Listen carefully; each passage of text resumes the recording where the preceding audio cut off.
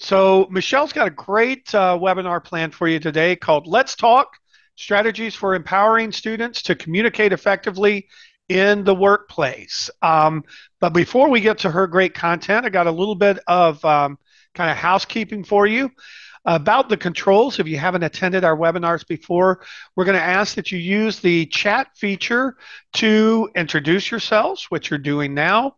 We're going to ask that you use it to uh, uh, share links and resources with the group.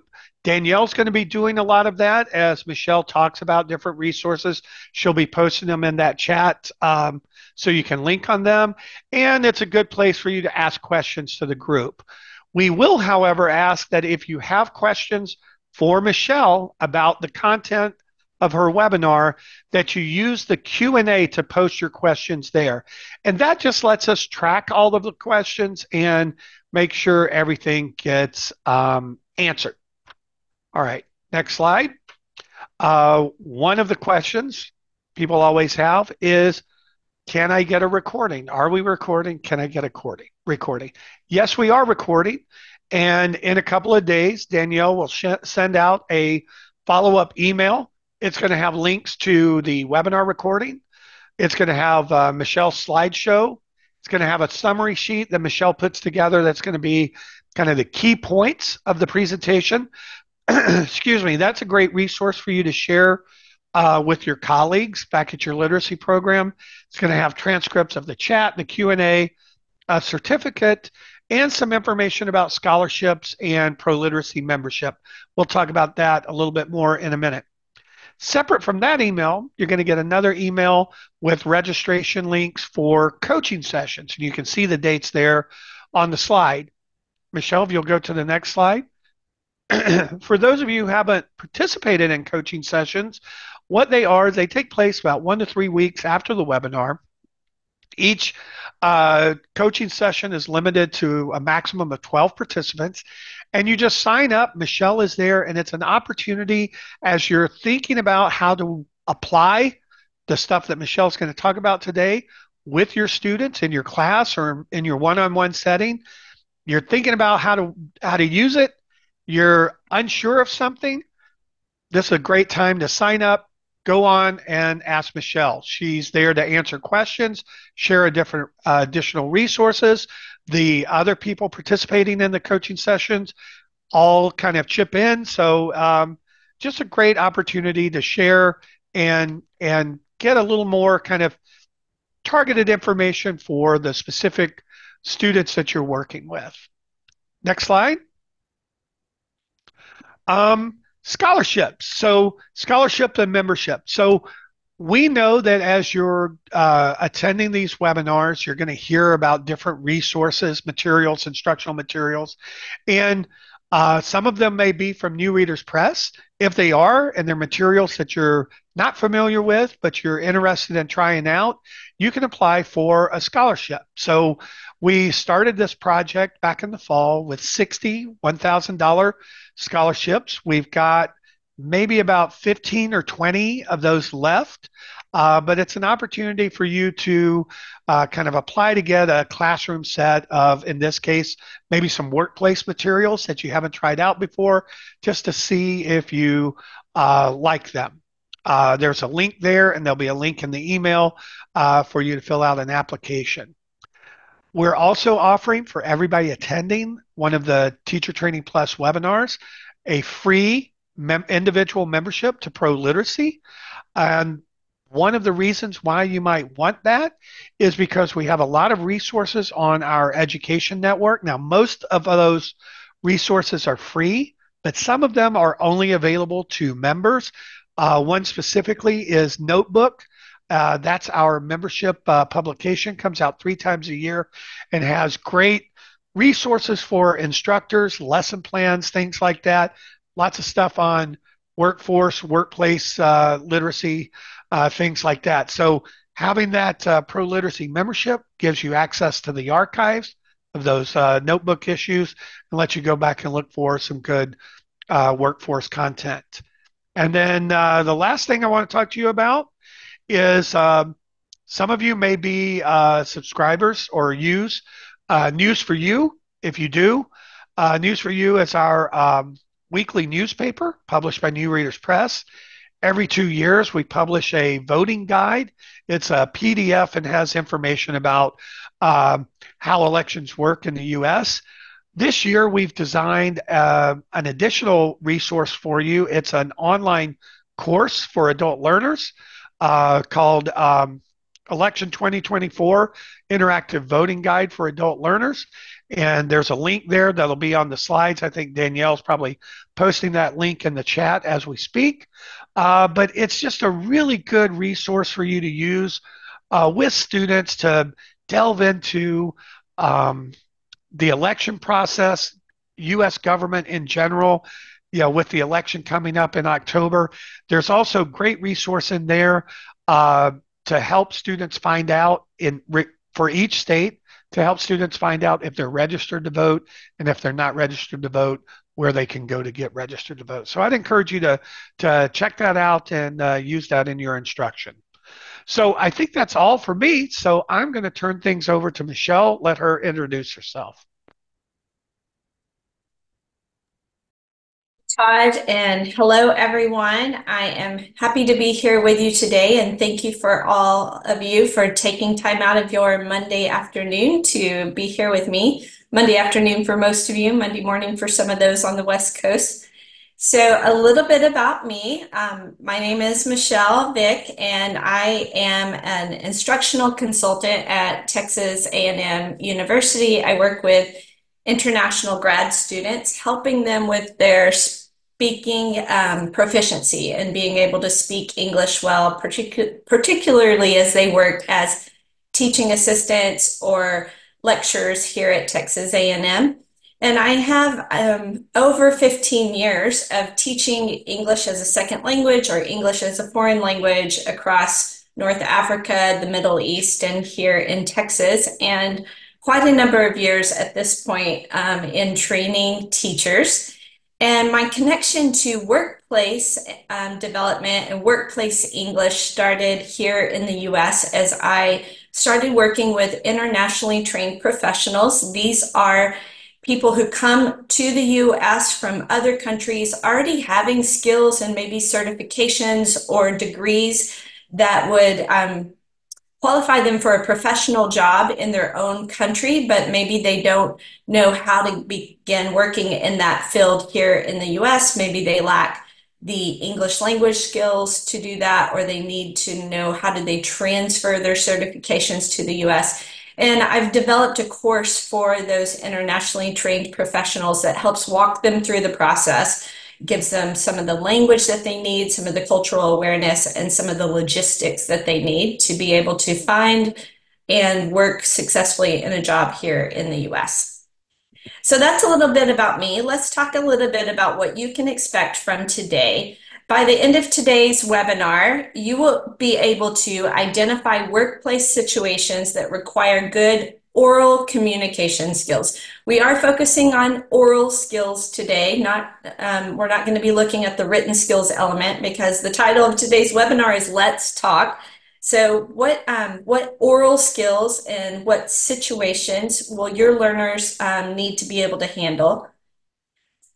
Then you'll be able to give some examples of foundational vocabulary and expressions that are key to successful work workplace interactions. So, how um, what language do they need to be polite, professional, courteous, and confident in the workplace?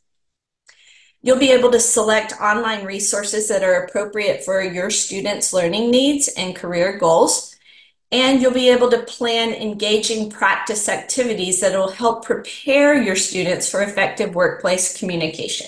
So those are the objectives for today, but I also want to encourage you to come to a coaching session. I've really been enjoying the coaching sessions in round one and round two, and the conversations that we've had in those coaching sessions. They are a great opportunity for you to talk about your particular learning situations, the kinds of learners you have, the kinds of classes or small groups or one on one tutorials that you're working with.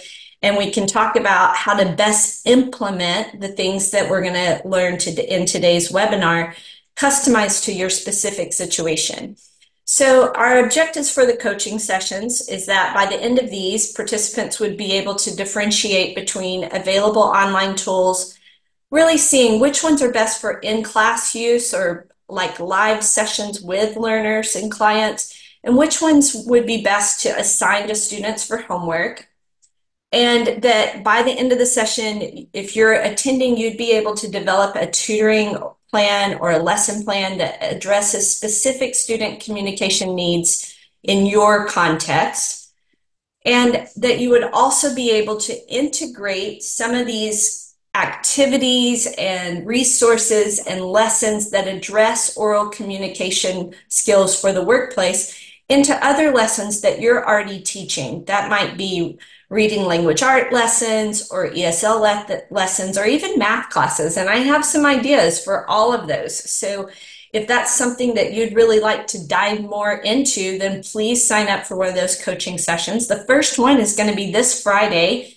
And so make sure that you get signed up and come and bring your, your questions about the resources and how you might implement those. All right, so this is a quote taken from the US Department of Labor.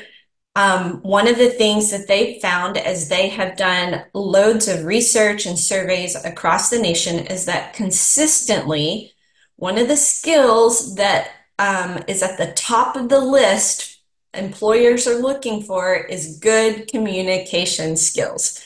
So we want to make sure that our learners have those good communication skills. Communication skills set a first impression, and they can often make the difference in chances for being hired in an interview, but also they can often make the difference in chances for promotions. So, as after workers are already hired, those good communication skills are catching the eye of their employers, and the difference in getting a promotion could come down to how good is the employee at communicating in a, across a number of situations.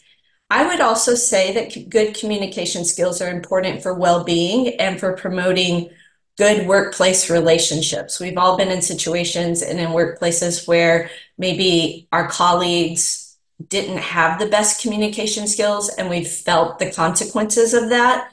And if we can equip our learners with good communication skills, then we're increasing their chances that they'll be a positive addition to workplace environment and it will improve their own well-being and the environment um, of the workplace. So today we're going to discuss some specific scenarios and some specific skills and look at how we might be able to build those skills and equip or prepare our learners for good communication.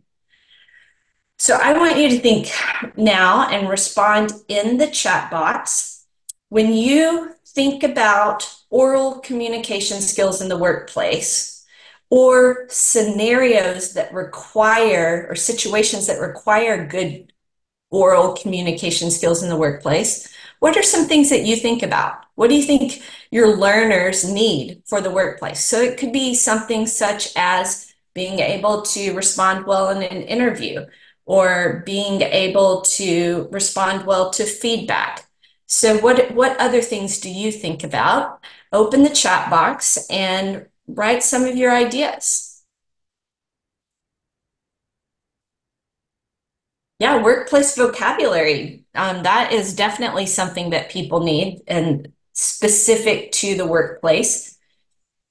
Being able to speak clearly, yeah, clearly in a way that communicates the meaning that you mean to communicate. Small talk, active listening. Oh my gosh, they're coming through so fast. I can't keep up with them all, but this is great. Responding well in brainstorming, chit chat and small talk, workplace ethics and the communication that goes around that. Um, taking directions, and I would say also giving instructions and understanding instructions, asking for, for clarification, yeah, we'll take take another minute. Any like keep them coming. You guys are coming up with some great ones. Receiving feedback and criticism, communicating well with supervisors. These are good. Oh, reporting safety issues. I'm scrolling back through to see some of the past ones. That's so true. having confidence. I really want our, our learners to have confidence to speak, being able to greet guests, understanding like customs around different kinds of workplace communication, responding to emergencies, asking for directions. That's good. Oh, yes, body tone or body English and tone, those nonverbals, understanding chains of command, creating goals, idiomatic expressions. I love these. These are great. Yeah, personal grooming and well groomed uniform, that is a way that we present ourselves, and that can be a form of nonverbal communication. Absolutely. Understanding diversity. I'm going to ask um, Judy's question about ID and password for the webinar. I'm going to ask Danielle or Maribel if one of you can respond to that. Okay, these are all really great. Team teamwork and communication around teams is also good. So you guys have come up with a lot of things, and on my next slide, I'm going to go through some um, key workplace communication situations where we want our learners to be able to communicate well, and many of these were things that you have already put in the chat box. So, knowing how to call in sick in a way that is professional, polite, courteous, um, understands chain of command. Someone talked about that. Asking for time off, asking for help, asking for a raise or a promotion. I know some of us even need to um, review what is the appropriate oral communication for that so that we know how to do it ourselves. Um, expressing disagreement communicating with customers, giving instructions. Many people mentioned that one, um, giving feedback, problem solving, sharing ideas, asking for clarification. I, I saw that come through several times. I was pleased to see that one come through. And correcting misunderstandings. So these are some of many situations where our learners, our clients need to have um, an understanding what does good oral communication look like in these situations. And so throughout the lesson today, we'll talk a little bit about how we can foster skills in these areas and resources um, that are available to help us with that. But I want to start out with a little video, um, and I'm going to scroll in this video um, we're not going to watch it right from the beginning. And I want you to think about what is going on in this video and what would we need to address with our learners from this video.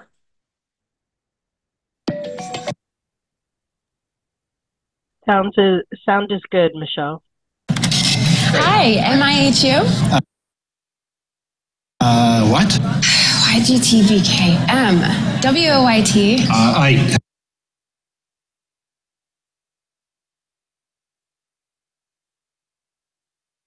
I have no idea what you're saying. What you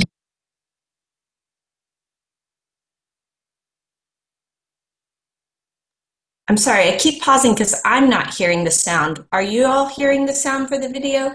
Yes. Okay, great. As long as you can hear it, that's all that matters. Let me, I'm going to go back um, and start it at my starting point again and play it through. Hi, MIHU? Uh, what? YGTVKM.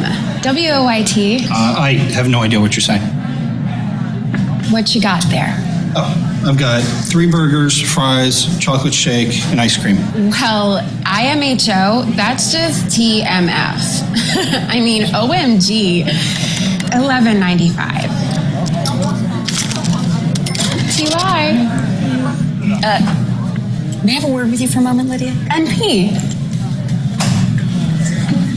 Lydia, you've got to stop speaking in text. Uh, the customers don't know what you're saying, and they've been complaining. I mean, Hi, HRU. So I hope that you heard it. I paused it at the place where I wanted to go ahead and pause it. Um, and what I want to say is like, as we are working with our learners, we're probably not going to have situations that are that extreme where learners are, you know, really that clueless about their communication.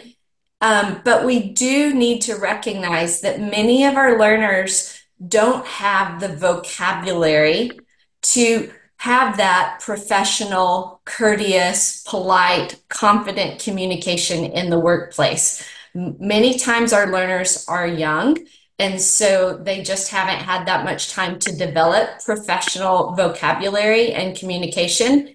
And then also, many times our learners haven't had good communication modeled for them. So, one of the things that we need to do is explicitly teach useful expressions and vocabulary. And I'm not talking about just for ESL or English language learners. I'm talking about for all of our learners, especially some of those GED learners that are are, you know, older teenagers, you know, and they've they're most of their experiences have been talking with their friends or maybe with a teacher, but they haven't had a ton of experience to pick up good professional um, ways to communicate. So, for example, we may need to teach the language or the vocabulary for calling in sick. Unfortunately, I'm not feeling well and I need to take a sick day, or for asking for time off. Would it be possible for me to take some time off for like teaching those polite ways to start a request with would it be possible? Would it? Or could you? Those kinds of modal modals i'm using my esl grammar um, but those ways that we use to introduce a polite request. Teaching them expressions for asking for help. Many people wrote about asking for help in the chat box. Could you help me with? or i need some support in this teaching expressions for asking for clarification, such as, could you repeat that? I want to make sure I understand it correctly instead of, huh? okay. So as we um, look at some of the situations that I pulled from the previous slide where I had the list of all the different kinds of workplace communication situations, I pulled three of them expressing disagreement, sharing ideas, and correcting misunderstanding. And I would love to hear from you all again in the chat box. What are some useful expressions that we can teach our students to um, communicate well in these situations? What's a useful expression that we could teach our students for expressing disagreement or for starting to share ideas or opinions or for correcting a misunderstanding? What you got? I hear you say, that's good.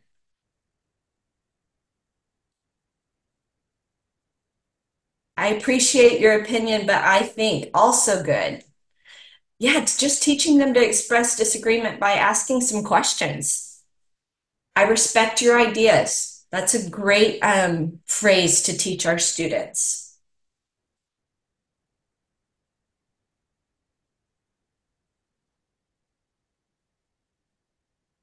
I interpreted that as, or for clarity, is that what you meant? Or that makes me feel. These are all great.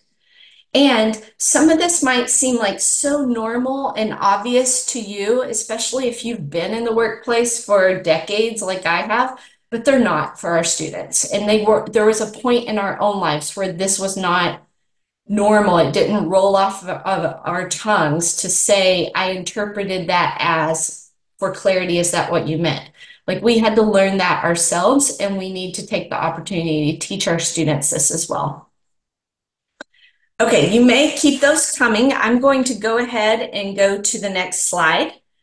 Um, and there is a an underappreciated communication skill that is often not taught in the classroom. However, many of you wrote it in the chat box earlier, so I was so pleased to see it. And that is listening, not just listening for like listening comprehension, especially I know like as an ESL teacher, I teach listening comprehension skills, but I mean listening as a discourse skill, as a communication skill, that active listening. And we all had to learn what is active listening and how do I practice active listening and how do I communicate or show to someone else that I am practicing active listening. And we need to take opportunities to teach that to our students as well. And some of the resources that I'm going to show you today have some good um, lessons about active listening. We're not going to look specifically at those today, but they are in there. So listening is a part of it's a discourse skill, and we want to make sure that we are teaching not just communication for certain situations, but kind of the big picture umbrella of good discourse skills. So, what are some discourse skills? A big one is audience awareness. And we are going to look at a resource today for teaching audience awareness because we want our learners to realize they need to customize or tailor their communication to what their audience. We also want our learners to realize that sometimes they have to plan their communication, especially in a situation where communication might be a little difficult. They, we want them to think ahead and plan for it. We want to teach them to be specific. We're going for clarity. We don't want to be vague. We want to teach them to be aware of their tone. Someone mentioned that earlier in the chat box. To use good listening skills, as we just talked about. To avoid interruptions. That's a big one. And um, sometimes I need a reminder myself. And along with that, to use appropriate turn taking conventions. That's something that um, a lot of English language learners need to learn the vocabulary for turn taking conventions and the cultural implications or how we do it in different cultures when we want to give a turn to someone else or take a turn in a conversation. We also want to teach that our learners to consider the importance of nonverbal communication like body language, and then a big one is we want to teach them not to fear silence, that it's okay for there to be moments of silence in a conversation or a team meeting to give space for people to think and to gather their thoughts before they speak. So I'm going to stop and do a little just kind of comprehension check now with you guys on the next slide. And we're going to do something that is called like a waterfall or a cascade response in the Zoom chat. So what you're going to do, and let me try to communicate orally, give oral communication by giving good, clear instructions. You're going to open the Zoom chat. On the next slide, I'm going to show you a situation or a question. I want you to type your answer into the Zoom chat, but do not click on send. You're going to wait until I count down three, two, one, and then click send, and we'll all be clicking send at the same time. So open the Zoom chat, type your answer, but don't click on the send icon. When I say three, two, one, send, that's when you're going to click send. So here's the question. During a meeting with a supervisor, an employee maintains eye contact, nods, and smiles while listening to the supervisor's suggestions. Which skill is this employee showing or using? Again, type it in the chat box, but don't click send until I tell you to.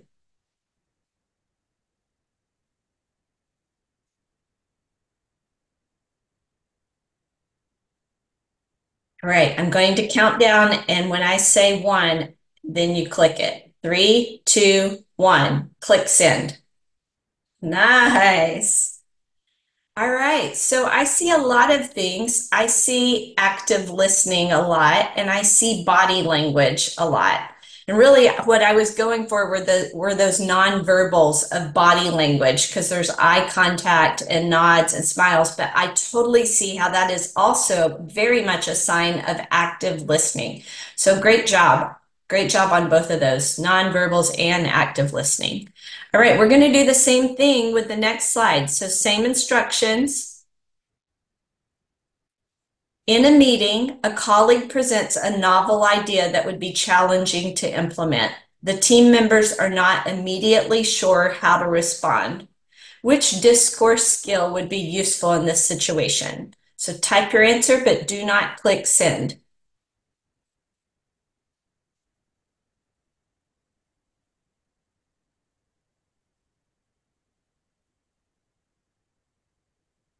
All right, three, two, one, send.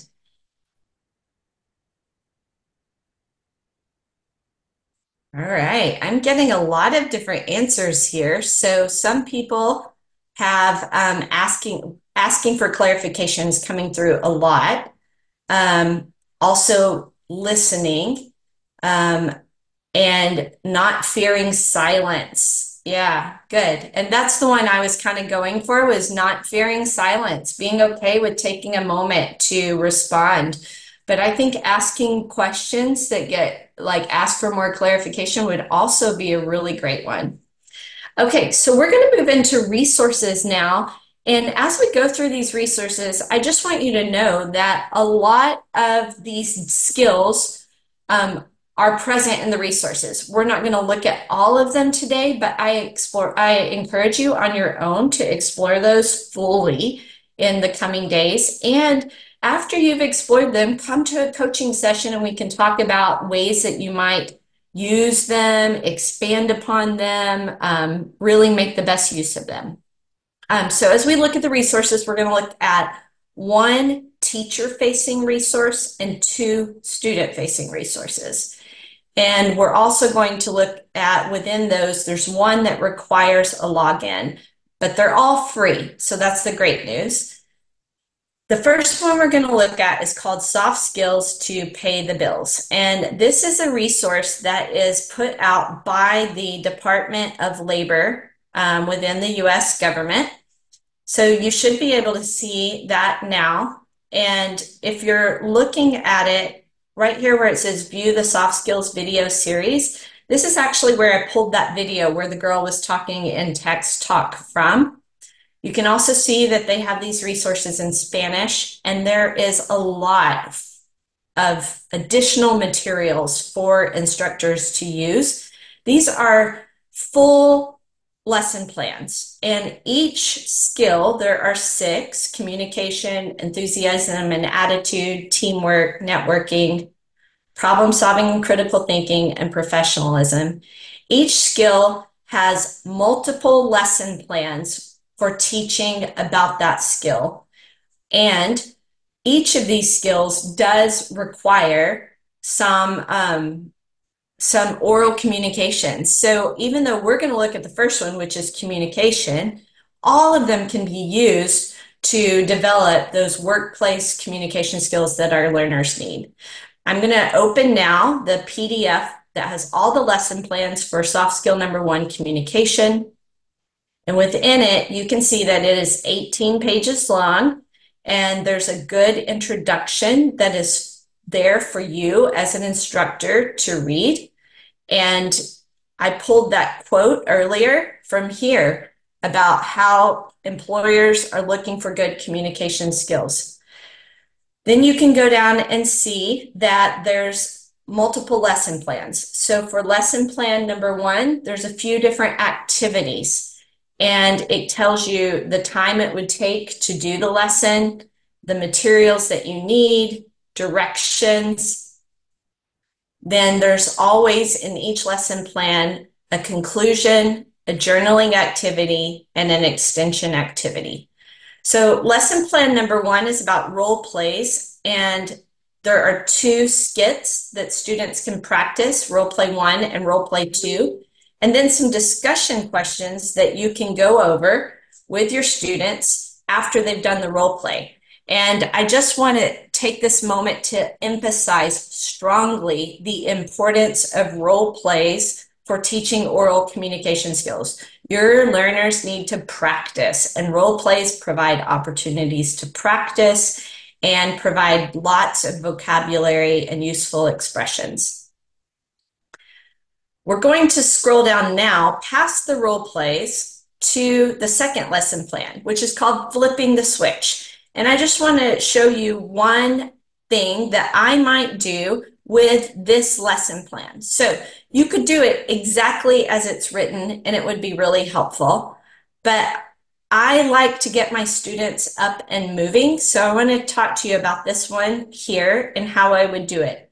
One of the goals of this one is for our learners to see that the way that we might communicate with a friend or out on the street is really different sometimes than the way we might communicate in a professional setting. And we have to change both our verbal language and our body language to fit the audience and the situation. So I would have my students get in groups of four or five and line up in a straight line, one behind the other and this is something that I would do to visually help students see how different their language needs to be depending on the context.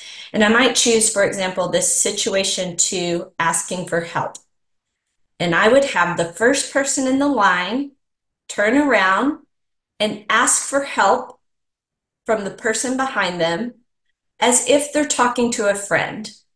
And then that person would turn around and ask for help from the person behind them as if they're talking to a family member. And you could even say what kind of family member, because there's a big difference between how you ask for help from your grandma and how you ask for help from your little sister.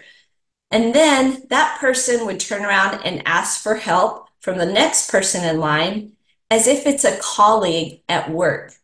And then the last person would turn around and ask for help from the person behind them as if it's their boss. And this like brings into the, the classroom space in a way that everyone can hear and visualize and witness that we really need to change our language depending on who we're talking to. It goes from levels of informality to formality, from, you know, casual to more professional. And it would be a fun way to get your students up and moving, practicing, but also witnessing what this looks like. And then you could sit down and have a classroom discussion after that. All right, so that's one way that I might extend upon what is already in here, but you don't have to do that because you could just simply follow all of the directions as is. And this would be a great lesson as is. And again, before I go back to my PowerPoint, I want to point out there's 18 pages of lessons just in this one um, soft skill, and this is just one of six soft skills. So there's a wealth of resources here that you can explore. I do see that there's some questions. I'm going to pause for questions after I go through the resources. So please try to jot down your question so you don't forget it, and we'll come back and address it. We're going to go on to the next resource, which is the Learn to Earn Toolkit. This is the one resource that I said does require a login. And so let's take a look at this Learn to Earn toolkit. And here we are on mine. I have already logged in and you can see my dashboard. And within this, you can see that I have earned some badges, which is kind of cool. And it gives me an idea of my progress. Each of your learners can create an account on here and then they can work through the various skills. And as they do, they also earn badges. And those badges are very motivating. So sometimes I haven't done much more with this Learn to Earn toolkit than assign different lessons from it to my students as homework if the lessons complement what we're learning in class. And then they are earning badges and they seem very motivated to earn all their badges. But I'll also talk about two activities I might do with one of the readings. So if you go up here to skills, you can see that there are 10 skills within the Learn to Earn toolkit.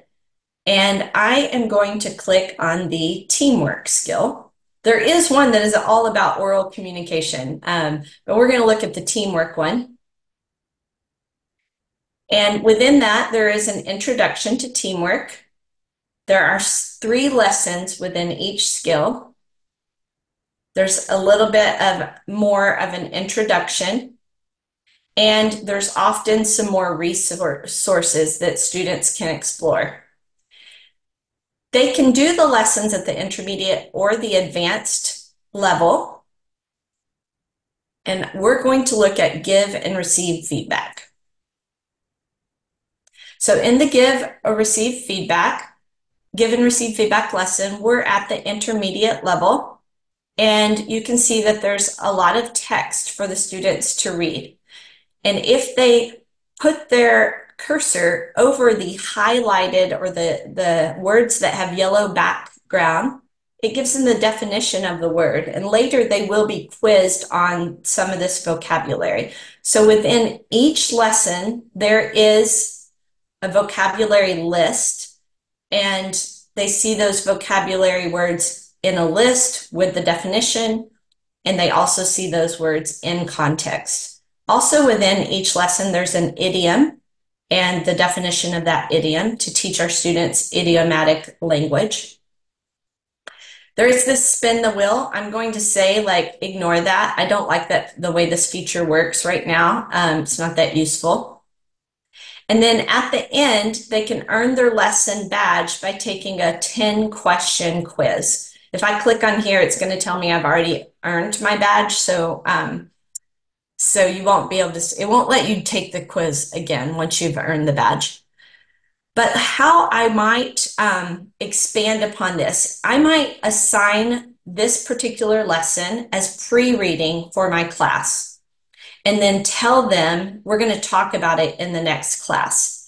I would give them a guiding question, such as What is one way that you learned, or one thing you learned about receiving feedback? That's their guiding question for when they read it. When they come to class, at the beginning of class, I'm going to ask them to do a think, pair, share activity.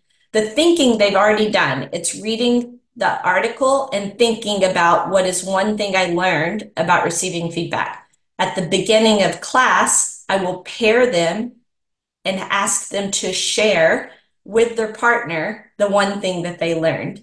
And I'm going around and listening and assessing, like, you know, how was the reading comprehension? Did it, you know, am I hearing some good things? And I might even turn that into a further discussion. And then finally, I might have them practice some role plays for giving and receiving feedback. And those role plays could be something that I have already scripted out. Or if they're advanced learners, I might have them script those out themselves and create some role plays. It could be create one role play that is an example of not receiving feedback well, and then redo the replay and show how the person could change and receive that feedback well. So those are some activities I might do with this particular lesson. And again, within these skills, there is a wealth of lessons related to workplace skills, and many of them involve oral communication skills, not only the one that says oral communication. So that's resource number two. We're going to go on to resource number three, our final resource for the day. And that comes from GCF Global, which is a Goodwill Foundation resource. They have a ton of tutorials that are student facing that address digital skills, job success for like getting a job and job success for like maintaining a job. And so we're going to look at one of those um, one of those web pages, and this is the one for workplace skills.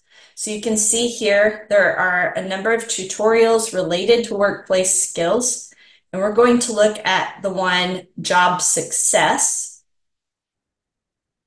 And under job success is kind of what I think is a foundational workplace communication tutorial or lesson.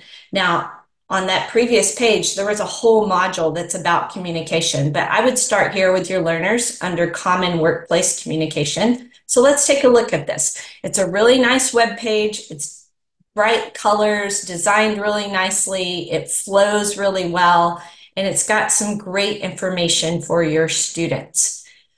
How would I use this web page? Okay, I have a couple of ideas. My first idea is that I would assign an individual or a pair of students, or maybe even a small group of students, one section. So, for example, one pair in my classroom might have this section called What is Positive Communication? And another pair in my classroom might have this section called positive workplace communication. And then another pair might have this section, and so on. tailor it to your students. How many sections you assign to one pair or one individual would be based on your students' abilities. Whenever I would do something like this with my classes, I knew which students could handle more and which students needed less. And so I personalized it in that way. But then what I would do is have them read their section and think about how they're going to teach that section to the rest of the class. So it might be as simple as putting them in groups to teach what they learned about to the others who read different sections. Or something I really liked to do was combine digital skills with um, what other other skills I was teaching, whether it's language skills or workplace skills. And so I would teach my students to use Canva, which is a great online resource. There is a good free version of it for developing graphics like a flyer or an infographic or a poster. I would teach my students how to use Canva and then I would have them make a graphic to graphically display what they learned about what they read. So, for example, for the section who read accepting constructive feedback, they might come up with a graphic that looks something like this. I created this on Canva. It took me about five to 10 minutes to create this using the um, templates that Canva already has. And I know from experience with my students, with several groups of students dating back to COVID, that most of them would be able to learn how to do this because they did. They created graphics like this um, for class. So then we can have some sort of situation where students are showing the graphic that they created to the other students and explaining it and teaching it to the others. Or if we're in the physical classroom, maybe I print these out and I put them around the walls and students go around and they look at the different graphics and the ones who made it explains to those who've come to look about what they learned. You could use poster board too. That would be fine if you're not wanting to do the digital skills part. That would be another way to do it. But that's just one of the ways, oops, that I might use this web page. One final idea on this web page. Let me go back up. If you look at this list about positive workplace communication, a quick glance shows you that this communication isn't all positive. So you're going to need to think about um, what could you do to help your students uh, discriminate between what's positive and not positive. And I think you could take this and make it into a sorting activity. If they're in the classroom, you could put it on post-it notes and have them sort between pot, which ones are positive and which ones are negative. Or you could um, even have them create a sorting activity. So one, the pair that reads this positive workplace communication section the way that they teach it to the rest of the class is they create a puzzle or a sorting activity for the rest of the class to do. So these are different ways to really get your students engaged with their learning and thinking about and interacting with the materials rather than just simply reading it. All right, we're going to go back to my PowerPoint now and wrap up. So We've looked at three resources, all free, all incredibly rich with lots of information and lots of ideas. Again, I encourage you to explore those in depth. Um, they'll be in the resources that are sent out after this. But there's a few things I want you to keep in mind as you're exploring those resources and thinking about using them. One is that you know your learners best. So you know which of these resources are too advanced or which ones will be too simple or which ones are just right. You also know your learners' um, goals and their desires. You know where they're coming in with their current abilities in terms of oral communication skills, and you know their English language skills if they're English language learners. So you're the one who's best able to choose which of these would really work for your learners. You also are the ones who best know how to tailor these materials to meet their needs. You know best whether whether or not you can just, for example, assign one of those readings that are student facing as is, or if you need to do something to make it more useful for your particular learners. And if you're struggling with that, this is something that we often end up talking about in the coaching sessions. So I just again want to encourage you come to one of the coaching sessions. I usually start the coaching sessions by asking those who are in attendance about their learners and their situations so I can best know what kinds of um, ideas or advice to give in those situations. And then finally, do not underestimate the power of practice. Your learners need a lot of opportunities to practice these skills in role plays um, and other situations. You can weave, for example, giving and receiving feedback all throughout your lessons and over the course of your semester, whenever your courses run. Look for many opportunities to give your students practice. I recently was working with a student who was a high level basketball player in China, and now he's here um, in the US. And he's struggling with some of his speaking skills. And I asked him, I said, Hey, how many times did you have to shoot a free throw in order to be able to consistently make that free throw in game setting situations? And he was like, Oh man, I don't know, like, you know, thousands. And I said, Well, you need to give um, and a similar dedication to practicing your speaking skills in English. You're, it's not going to be a one off like you read and you learn a new vocabulary word and you go the next lesson the next week and you never practice again, but somehow you're able to demonstrate mastery or proficiency. It takes repeated practice. And we, as teachers and tutors, can try to create those conditions and set our students up for success by creating practice opportunities. Okay, we're going to have a little bit of final housekeeping and then also I'll address some of your questions. We've got about six minutes left and I can stay late um, as well. So please put those in the Q&A. Upcoming webinars in this series. We are getting to the end of this series, but there's still three great webinars coming up in the next two and a half weeks. The most um, the most immediate one is tomorrow at 1 p.m. Eastern Time. So if you haven't signed up for that yet, I encourage you to do that. It's about writing strategies for our low level writers or those who struggle with anxiety about writing. And then there's also one um, for English language learners, um, especially those pre literate learners who need reading skills on April 9th. And then a math one about the different kinds of routines you can create in the classroom for building number sense on April 18th. And I want to make sure that I take a moment for you to scan the QR code for the survey from today's webinar.